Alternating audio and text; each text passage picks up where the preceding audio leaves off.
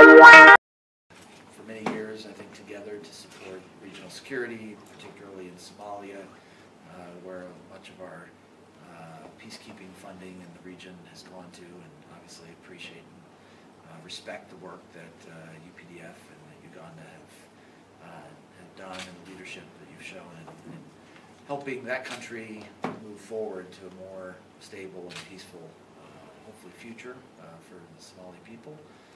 And uh, obviously, it appears to be in a uh, somewhat of a transition phase with ATMIS, so uh, welcome any thoughts uh, and insights on how you see that unfolding, Uganda's continuing commitment to peace and security there.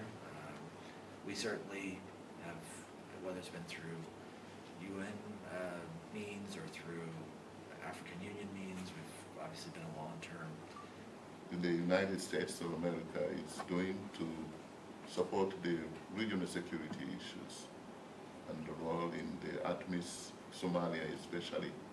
We, we need to focus and um, try to see how we can deepen the relationship based on mutual trust. Of course. And uh, I, I think all this. I